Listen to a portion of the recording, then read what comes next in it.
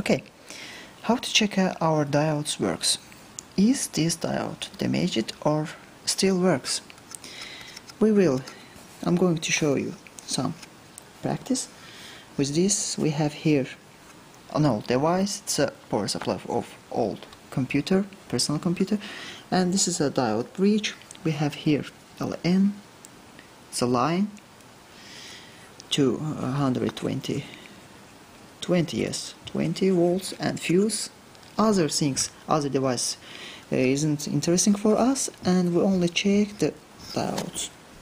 For this we need two things. First we can use multimeter and measure measure uh, let me say that resistance of this of these diodes or we will use the LED and the battery like this. First uh, multimeter is isn't so useful for this because we don't know the, which is uh, uh, let me say the positive and negative pins of this device. And let's connect multimeter as we connect it. Then let's check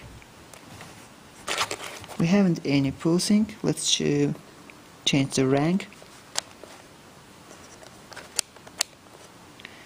Yep we have. It's about yes 750 kilo ohms. Okay and it isn't means that it is our uh, device is our sorry LED works or not let's use another things. We have here P and N sides N and P P and N sides of this diode let's connect positive pin to the P side and the negative pin to the LED and other LED's pin. We will connect to the diode. Let's connect.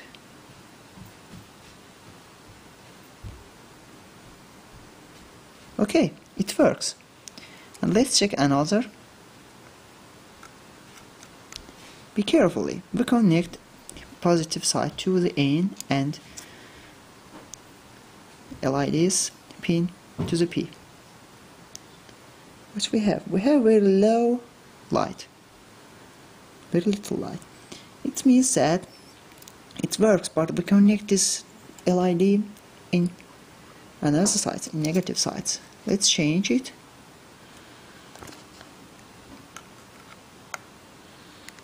okay it must work.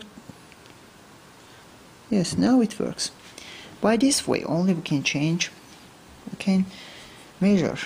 Is our uh, diode works or damaged